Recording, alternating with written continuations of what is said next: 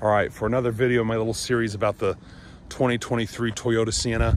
Um, great car, a few aftermarket things have made our lives a lot easier and made this a much more functional car for us. Um, first, I'll cover um, the DVD player that didn't exist. We, we did get the entertainment system. The research really didn't help me find out that there's no DVD player with the entertainment system. You need to either take my phone captive and, and run uh, adapter to an HDMI, or I need to pay for the internet in order in the car to be able to cast to the screen of it. Um, hey, our kids have iPads. They use them quite a bit, but on long road trips, our four month old doesn't. And sometimes uh, the iPads need to rest, and it's really nice just to run old school DVDs. So I'll show you my solution there. Also, a number of different kind of aftermarket goodies that just make sense uh, that have kind of made things a lot easier, especially made it a little more functional like the 2012 was as far as um, where we got used to kind of sticking stuff, uh, sunglasses, trash, different things like that. So um, stay tuned, give me about five minutes, we'll, we'll show you this details of the things we bought and I'll try to add some links below on how to get some of it done. Excuse me, which we just don't care to pay for. So here's the solution. Um, I have a DVD player up front to get there, I have this 90 degree HDMI uh, adapter, which I've found on Amazon. Um, a decent cord, HDMI cord that I've ran to the front between the seats. I even entertained possibly kind of disassembling this and running this into the center console, and the DVD player just wouldn't fit in the center console. To make this clean running around, you can see these little clips, I'll add a link here, that hold this taut so it doesn't get tangled in the mechanism as you run your seat back and forth. Let me run this back. I'll show you how it comes around. So you can see some more of these clips. They just attach with 3Ms. I've had them come around. I've attached them to the top, down the side, and then here is my, I think, $35 DVD player. Nothing fancy. It's not a Blu-ray. Um, but here's the trick. It runs off of the plug down here. When I'm not using it, I just back that plug out when you pop the top, make sure that whichever one you buy, you're able to actually clip in your DVD player. So it's not just sitting in the tray and spinning, but it's actually clipped in. And what I've also done here is I try to keep my remotes on top here and they'd flop all over the place. So if you go to Home Depot, you can get um, toolbox liner. And if you put these on top of the toolbox liner, it's like an anti-skid surface and it just sticks around. So when it's time for this thing to run, I simply reach over, push that in, it's on.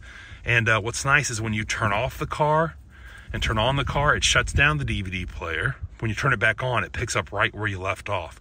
So it works very much like a factory solution. So factory remote for the TV, remote for the DVD player, it works beautifully.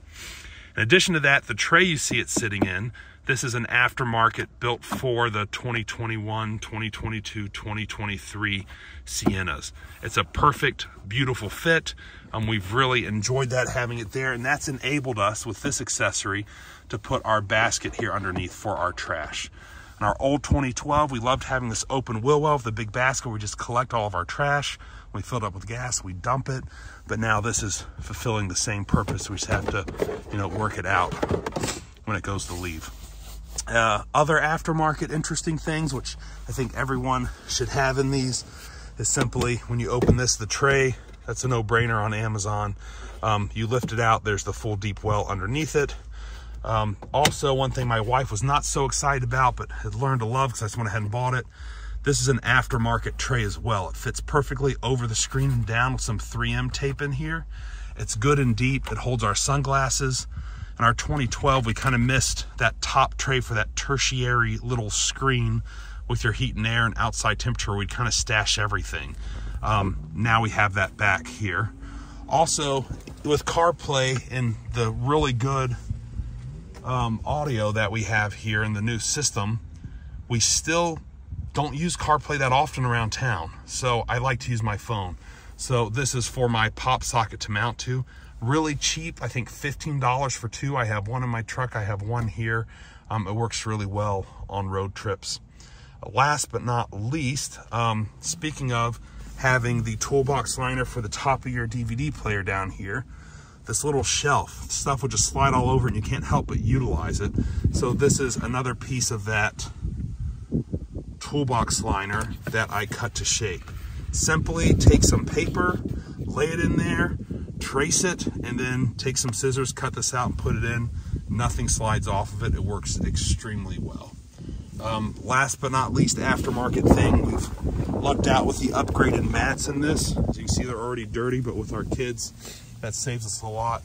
In the rear, we certainly bought this, you know, aftermarket uh, insert to protect the carpet back here. Two different sizes. Check to make sure your car does or does not have a spare tire. That depends your shape. That determines what shape you have back here. Um, that's going to save us a lot down the road. Also, with this car, I mean, I hated the black interior at first, and I had a cousin who said, listen, we have a Sienna with black interior, and even though it's hard to vacuum and it shows the the dog hair and specks and stuff on it, it doesn't show any stains. So, so far we've really enjoyed that as well. So there's a few of our aftermarket things that make life easier um, in our Sienna. Um, hope that's helpful.